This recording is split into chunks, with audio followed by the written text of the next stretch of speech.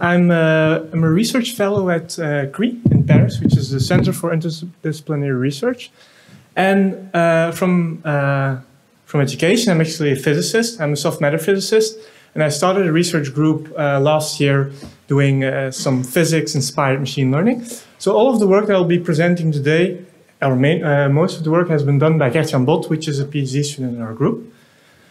So actually, I want to start this, this talk with a, with a criticism that I hear a lot, at least from the physics community, at least uh, about machine learning, which is that machine learning has proven that it's really good at detecting very intricate patterns from data, and it's really it has a it has a high predictive power, but that oftentimes it's difficult to get interpretable models from machine learning. And uh, this dichotomy is actually captured by the two fields within machine learning, which are statistical machine learning and symbolic machine learning. And so the goal of uh, uh our research group and uh, also the, the, the, topic of the talk will be try to, to develop tools to discover interpretable models uh, for quantitative science. And the examples that I will show now will be mainly in the, in the context of physics, but we also try to apply it to uh, other fields like synthetic biology and uh, developmental biology. So our approach is to combine the statistical power of neural networks with the symbolic power of regression. And essentially what we'll try to do is assume you have a noisy data set. So you measure a certain quantity over space and over time. And what we'll try to do is try to discover the underlying distribution or the underlying PDE, so partial differential equation from this data. So essentially what we do is we write down a partial differential equation uh, u of t, and the, the, subscripts mean the derivatives with respect to uh, that value. So uh, du dt equals a very complicated function which can depend on u, which can depend on spatial derivatives of u, a very complicated function of combinations thereof. Actually, what we do is we construct a library with, uh, with different candidate functions. So we rewrite this uh, partial differential equation as a matrix vector product where theta is actually the library. So we construct a library with all different possible terms. And then we have a vector xi. And we can, this obviously is just a regression problem in that case. So the, the goal will be to try to discover a sparse solution of this vector xi. So this vector xi actually, in this case, you can see it contains a lot of zeros and some non-zero terms. And actually these non-zero terms uh, tell you which of the terms to what extent feature in the partial differential equation. The reason that we're looking for a sparse solution of xi is that typically in physics, at least the hope is that if you have a model, that it doesn't contain too many terms, so that, that it's a limited amount of terms. So this sparse regression is something that has already been around for years, but applying it to real data has always been a, a challenge, mainly because this approach is very sensitive to noise. So if you try to construct this library from a noisy signal, so assume that you have, for example, 5% of noise, you can see that if you have your function u, if you calculate the derivative, and if you calculate the second, especially the second or the higher order derivative, that if you have a noisy signal, if you use finite difference or if you use even more complicated schemes, that's really difficult to calculate an accurate library, so to cal calculate accurate higher order derivatives. So numerically calculating this library is really difficult. The solution that we present is to use a neural network to learn the mapping xt to u and to actually construct this library with respect to the inferred solution and not with respect to the actual data. So the way that we, that we approach this is to include the regression task within the neural network. And I'll, and I'll show at the end why this is really important to do this within the neural network and not to just use a neural network to learn the mapping and then to do the regression. So essentially, if we train our neural network, we define a loss function. So the loss function that we use here contains three terms. The first one is a mean square error, where essentially we try to learn the mapping. So we just learn the mapping xt to u. The second term is a regression term. So we try to optimize, does that work? Try to optimize theta times xi minus uh, temporal derivative of u hat. So again, of the inferred solution. So note that this vector xi is a coefficient vector. So this is what we try to optimize for. So we try to, uh, we try to optimize all the weights within our neural network to learn the mapping xt to u. And at the same time, we're also trying to optimize this vector xi. We also have a third term in our, um, in our loss function, which is a L1 penalty on this vector xi. This is essentially to promote sparsity. Turns out actually that, for me at least surprisingly, is that we, for everything that I will be discussing afterwards, we don't really need this L1 penalty, but it helps to converge faster. So it speeds up convergence. So again, we're going to train a neural network to learn this mapping and at the same time try to discover the, uh, the coefficient vector that corresponds to the differential equation underlying the data. So what happens during training? So here I plot the, the different cost functions as function of the number of training epochs. And let's focus on two lines. So the blue line, which is the MSE, so the mean square error part of the cost function, and the orange line, which is the regression part.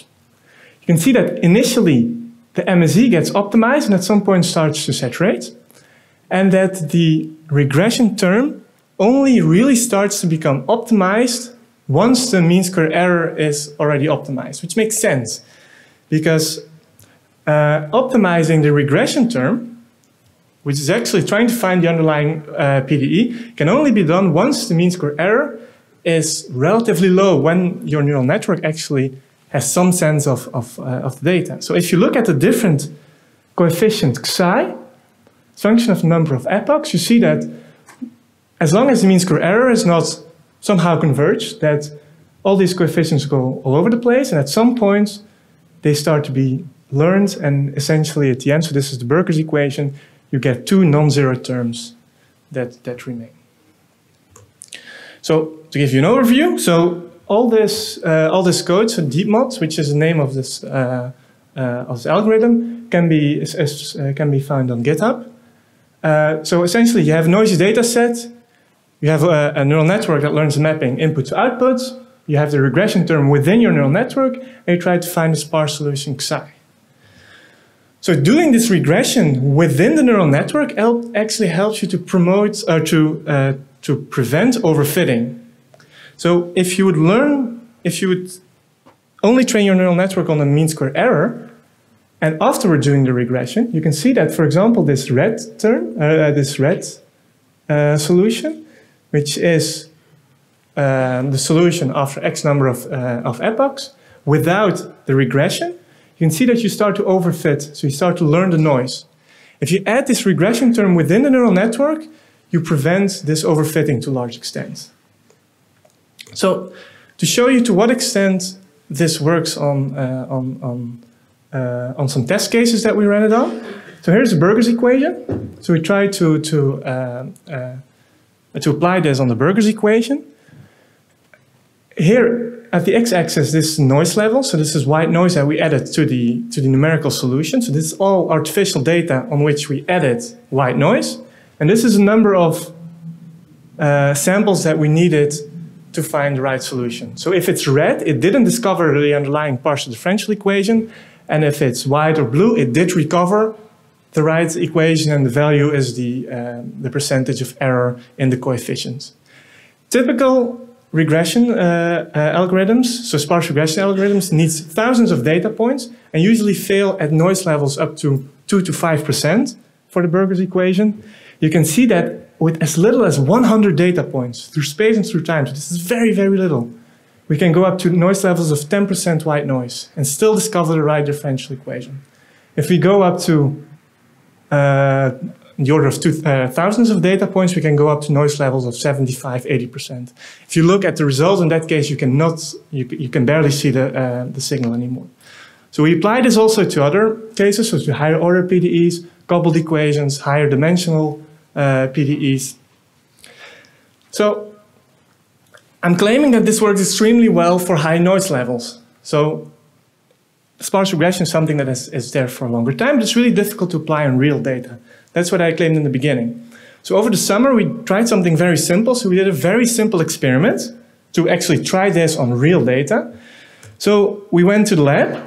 We did an electrophoresis. Uh, we took an electrophoresis system. So you have a gel, and we actually pipetted uh, a simple loading dye in the gel. this dye should start to diffuse. And it's also charged, so if you put on an electric field, it should start to advect. So what we did was, we did this experiment. This literally took two days. We took the experiment, we made pictures with a Pi camera, then we subtracted the reference image without the dye. Then we had roughly an estimate for the density. It's not perfect, but just by feeding the algorithm these images, we did discover from a pretty big library the advection diffusion equation, and then depending on the size of the electric field, we could vary actually this, this velocity, this advection velocity in, uh, this. So this is actually model discovery that works for real experimental data with very high noise levels. Another application, which I would not really have time to, to discuss today, is actually we're also interested in uh, getting the models from single particle tracking data. So single particle tracking data, you have a trajectory, for this trajectory, you have to do a density estimation. Then you get the, uh, the evolution of the density function of time. And then from this, you can do our, our, our classical model discovery and try to discover, for example, fusion equation, uh, advection random walk, persistent random walks uh, worked, chemotaxis, etc., etc. One of the things that we, that we noted in, in this analysis is actually that we need a lot of trajectories.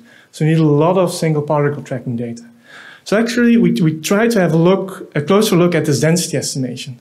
Because classical approaches for density estimations, like kernel density estimation or binning, all have a problem that you have to predefine uh, either a, a, binning size or a, a width of your kernel. So it turns out that it didn't work that well. So we needed a lot of data. So what we did was we used a concept which has been discussed today, which is the uh, normalizing flows. And we've actually, uh, to some extent, extended these normalizing flows to include the temporal axis. So actually, we use a neural network to link the different frames, uh, uh so the, uh, the different density estimations through time. And with this, we could get a time-dependent density evolution. So I'll not have time to discuss this in more detail, but we actually put the paper of these uh, temporal neural flows on, on arXiv recently. Actually, this would potentially allow us also to discover uh, partial differential equations with conservation constraints. For example, the, the Fokker-Planck equations, where, where you conserve the number of particles. Okay, so this brings us to the end of my talk. Uh, and I would like to thank all my uh, all the group members uh, that worked on this. I want to thank uh, CRI. And I want to uh, remind you that this whole framework to do model discovery on, on data can be found on GitHub. We have a version in TensorFlow and we have a version in, in PyTorch. So if you want to try it on a, on a, on a real data set, uh, please uh, go ahead. And last but not least, uh, I have a postdoc position available. So if anyone is interested in working on this uh, over the next year, then uh, please let me know. Or if you know anyone that might be interested, uh, communicate it. Thank you very much for your attention. Thanks a lot. We have time for questions. Yes. Hi, thanks for the talk. Uh, one question. So, the, uh, so this um, this uh, extra loss that's well, that is a kind of a regularizer between the neural net and the the uh, uh, basically the uh, the same OD but written on this basis of no function. So, if you already uh, know this basis and uh, uh, what what do you, what does the, the neural net brings on top of uh, just directly fitting the theta coefficients to the data, for example? So that's a very good remark. So in, in principle, our our library theta is much bigger than the terms that are that feature in your equation. And it turns out that you can choose this this library very big. So you can get uh, tens of terms, even of the order of 50 different terms. And then actually since we're optimizing for Xi, it will actually find a sparse solution for Xi, so it will tell you which of these terms feature in your equation. And then the coefficients in front of these are the, are the, are terms that are in your equation. So alternative, what you can do, which is, which is the, the physics inspired, uh, informed neural network, the PINNs, where actually, if you know which of these terms feature in your equation, you just build a library with only these terms. And then you can use this to fit uh, uh, your equation to the data. But in this case, it's model discovery. So you try to find the underlying model. Where it's crucial that actually, and this is important, that your model is somewhere in your library, of course. So this is one of the obvious limitations that if the right equation is not in your library, it will either not converge or it will give you a wrong result. Very nice. Uh, so this is all linear equations. So would this model work if you enrich with uh, non-linear term, cross yeah. term? Yeah, we, we, in, in principle, you can build this library with non-linear terms. Okay. So that's absolutely not a, not a limitation. Yep. Slava, one more question. Thank you for the really great and interesting talk. Just one question. When you have the third term and you try to constrain the sparsity by L1, actually it does not impose any constraint on the support where you will have a non-zero coefficient, right? Uh, don't you think that, for example, using sort of the adversarial loss that can be trained really for the, say, all you do not know what is that, but just for the scene supports, and then imposing it as an extra constraint would be more suitable instead of L1. That, that might be a good, that might be definitely a good option. So actually, the, the L1 we just put it into in, into this algorithm because we thought if we don't put an L1, we get a solution that, that is composed of a lot of, of all the different terms. You'd actually start to overfit your vector xi. For some strange reason, well, for some reason that for me was absolutely not obvious, that actually doesn't really happen even, even without this L1 term, you, you, you don't overfit your vector xi. You still get a very few uh, uh, terms, even for high noise levels, that fit your equation. The, the convergence is much slower, but that, that doesn't really seem to be a big of an issue. And it's surprising to me too, so I, I don't really have a intuition for that. But. All right, I think we should close here. Let's thank uh, Remy again.